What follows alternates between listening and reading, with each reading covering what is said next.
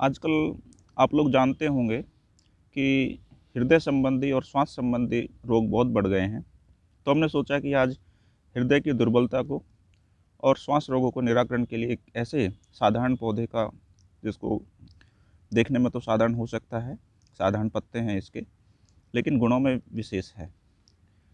यह छोटा करकरा या इसको एनासाइक्लस पारिथ्रम एस्टेरिसी फैमिली का है ये।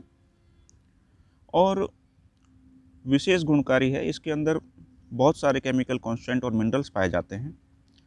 इसके अंदर वोलेटाइल ऑयल भी होता है, पेलीटोरिन और एनासाइक्लिन नाम के दो एल्कोलाइड भी होते हैं। इसके अलावा इसमें एल्युमिनियम, आयरन पोटासियम मैग्नीशियम और कैल्शियम भी पाया जाता है।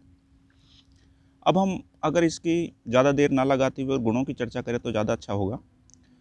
यह हृदय की दुर्बलता को दूर करने के लिए विशेष कार्य में आता है। ब्लॉकड आर्टरीज में भी हेल्प करता है। आपने अर्जुन का तो नाम सुना होगा, लेकिन अर्जुन के साथ अगर 200 मिलीग्राम इसका पाउडर भी मिला दिया जाए तो ये सोने पर सुहागा जैसा कार्य हो जाता है।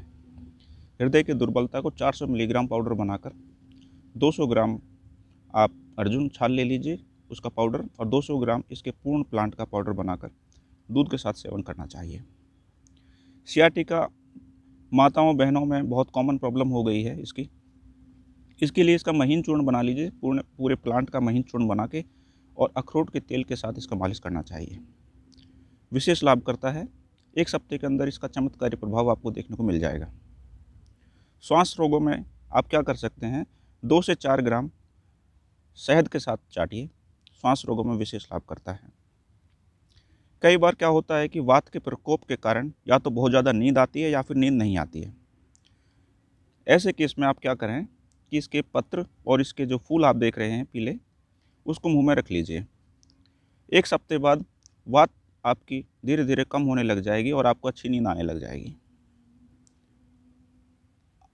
कई बार क्या होता है कि छोटे छोटे बच्चे होते हैं तो उनकी जीभ बहुत भारी होती है, जिससे उनको बोलने में समस्या आती है और तुतलाते हैं वो। जिसको जीवा जाडे भी कहते हैं तो ऐसे बच्चों को 200 मिलीग्राम इसका पाउडर शहद के साथ चटाना चाहिए। धीरे धीरे उनकी जो जीवा है, वो आसानी से मूव करेगी तो वो स्पष्ट रूप से बोलेंगे और उनके बोलने की जो क्षमता है, वो सुधर जाएगी। मेमोरी को बढ़ाने के लिए आप इसके साथ शंख पुष्पी का चूर्ण बनाकर सेवन कर सकते हैं और यह मेमोरी के बढ़ाने के साथ साथ एपिलेप्सी की समस्या का भी निराकरण करता है।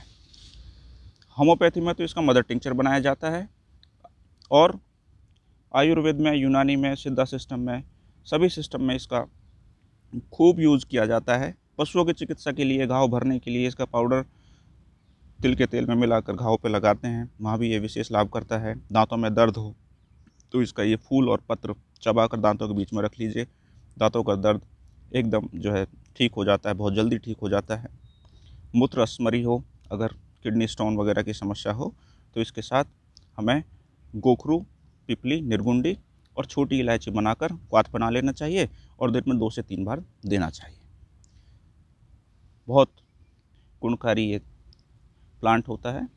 आमतौर से यह वाइल्ड कंडीशंस में कहीं भी देखने को आपको मिल जाएगा, लेकिन गुणों की जानकारी ना होने के कारण हम उसके औषधीय गुणों को अच्छे से एक्सप्लोर नहीं कर पा रहे हैं।